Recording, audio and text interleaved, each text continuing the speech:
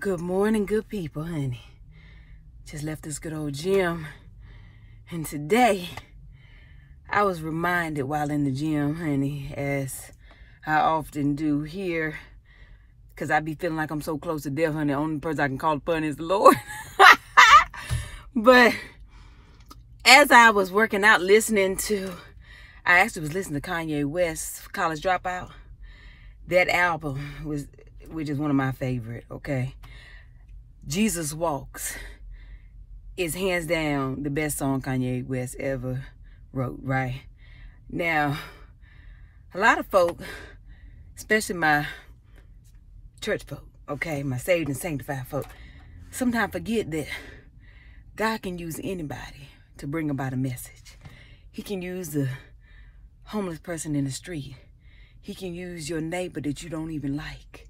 He can use those co-workers he can use your children. Honey, he can use anybody to get here and here, to touch you. Keep your mind open. Stop shying away or shunning folk because they don't have the look of the church that you think they're supposed to have. Stop thinking that people are useless to you when they just very well may be the blessing you've been waiting for. But you keep ignoring them. You keep talking bad about them. You keep shutting them out. Honey, you missing out.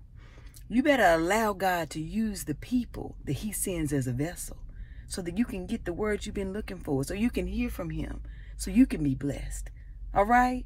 Everybody ain't going to have the same belief as you. Everybody ain't going to have the same look, and everybody ain't on the same journey. And that's okay. All right? It is okay.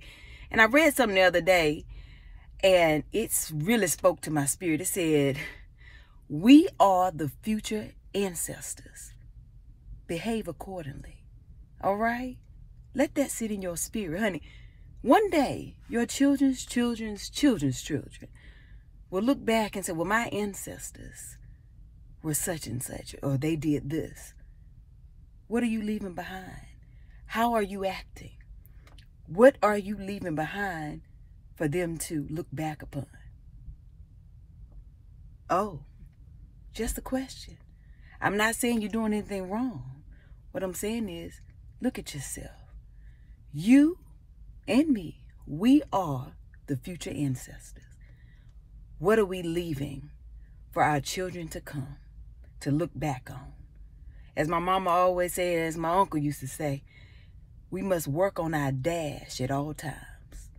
The dash is what's in the middle between your year you were born, 1979 for me, dash, and whatever the day I'm leaving. Nobody cares about that beginning date and the end date. All they care about is what's in the middle. What did you leave behind? Okay? Work on your dash. Act accordingly. Listen to people that you may not normally want to listen to. Speak to folk. Be kind to people who are different than you. You will never know who you may just be coming encounter with. You never know. I remember one of my favorite books was uh, How to Know When Entertaining an Angel. Something like that was the name of it. But yes, you never know when you may be. All right? So, act accordingly. Have a good day. But baby, even if you can't have a good one, don't you dare go messing with nobody else's him. Very good. Talk to y'all later. Love y'all.